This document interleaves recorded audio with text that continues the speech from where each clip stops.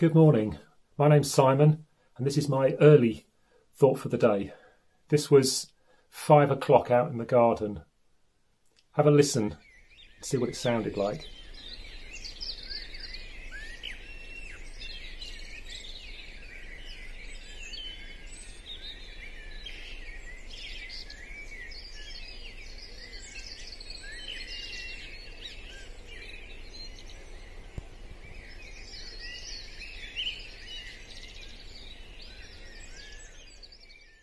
Isn't it somehow reassuring to hear that?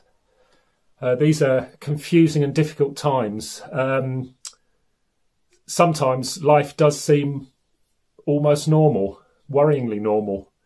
At other times we feel crushed by the suffering of it all, whether it's ours or that of others. And what are we meant to make of all of this? How are we to understand what's going on? And what does it all mean?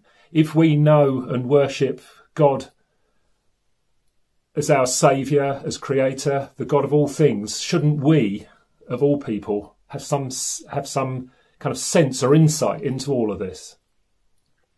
There's an article by the theologian Tom Wright, which has been shared widely on social media. You may well have seen it already, in which he argues that we are not meant to have answers.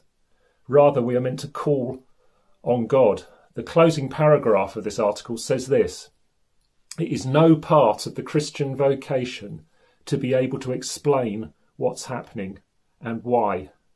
In fact, it is part of the Christian vocation not to be able to explain and to lament instead. As the Spirit laments within us, so we become, even in our self isolation, small shrines where the presence and healing love of God can dwell.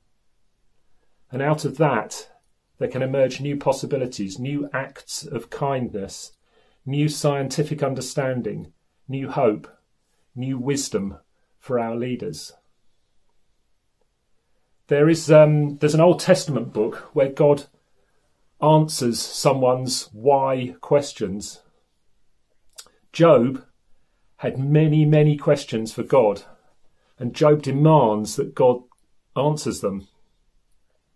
After uh, maybe more than 30 chapters of reasoned answers and half truths from his friends.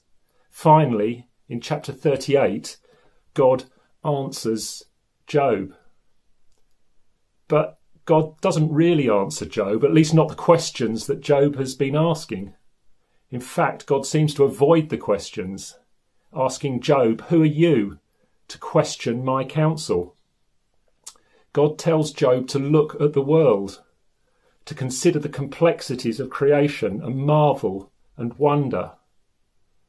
God asks, Where were you when I formed the land and the oceans?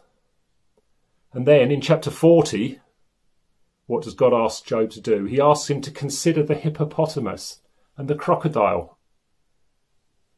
God makes Job listen, to be quiet, to let go of his own thoughts and accept God. What was Job's response?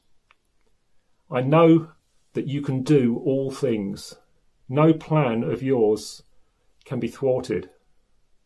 As Paul says in, um, in Romans, since the creation of the world, God's invisible qualities, his eternal power, and divine nature have been clearly seen being understood from what has been made, so that people are without excuse. But we do have to listen. We do have to pay attention. I'll finish with a short poem that I read at Cafe Church a while back. It's by um, the Pulitzer Prize winning American poet Mary Oliver, and it's titled Praying. It doesn't have to be the blue iris. It could be weeds in a vacant lot or a few small stones. Just pay attention. Then patch a few words together and don't try to make them elaborate. This isn't a contest, but the doorway into thanks and a silence in which another voice may speak. So, have a good day. Listen pay attention.